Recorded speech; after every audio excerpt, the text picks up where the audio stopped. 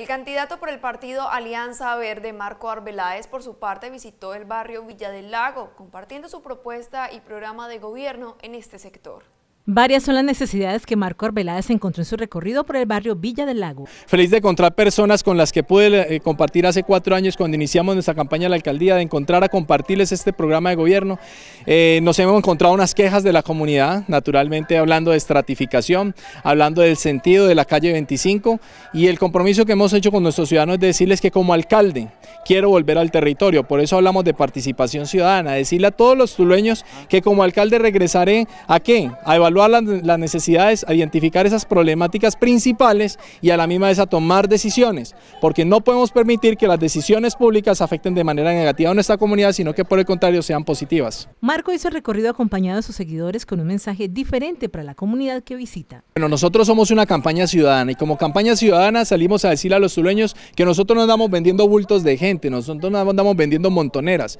nosotros andamos proponiendo, generando propuestas, hablando de desarrollo,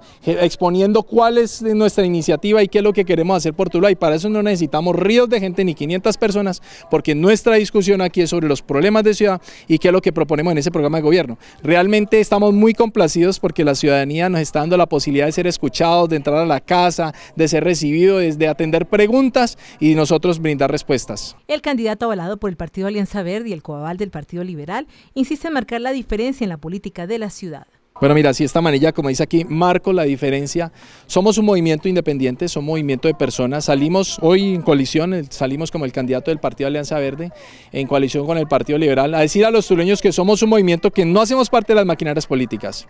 que no hacemos parte de la corrupción, ni de las mentiras, ni de lo que vemos cada cuatro años, porque la gente cuando uno llega generalmente dice, uy, politiquería, cuatro años pasan y al final nunca los vuelve a ver, los eligen y se desaparecen. Nosotros somos diferentes porque realmente hacemos política diferente porque no compramos votos, porque no ofrecemos nada a cambio de un voto y sencillamente lo único que eh, planteamos es la posibilidad de generar unas verdaderas oportunidades para todos los que vivimos acá. Somos la diferencia sencillamente porque nos salimos del molde, porque salimos un grupo de ciudadanos a tocar puertas, a decirle a los tulueños, a subirnos a un bus, a visitar la galería, a visitar todos los sectores del municipio que nos garantice que transmitir un mensaje directo a la ciudadanía. Dentro de su recorrido a pie tiene anécdotas con las personas que le ven y le hacen preguntas sobre sus propuestas.